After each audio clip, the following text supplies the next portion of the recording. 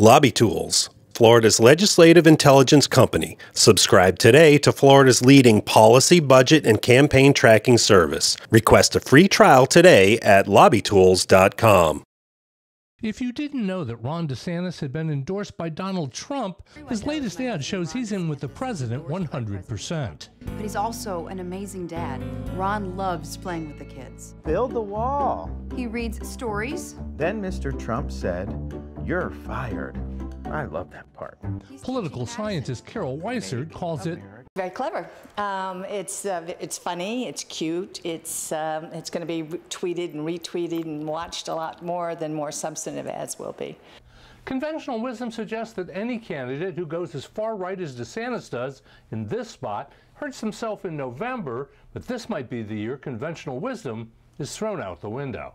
I don't think he's worried about the general election at this point. I think he's worried about the primary, and it's going to help him with the primary, I think. Make America great again. People say Ron's all Trump, but he is so much more.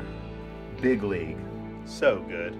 Polling suggests that DeSantis has overcome Agriculture Commissioner Adam Putnam's once commanding lead, due almost exclusively to the president's endorsement. There's no doubt that the Trump the Trump bump is real, and DeSantis got a lift from it. Now, with about 15, 20% undecided, the question will be who's better for Florida.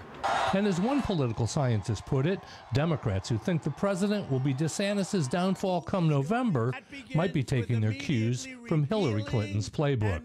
Reporting from the state capitol, I'm Mike Vasilinda.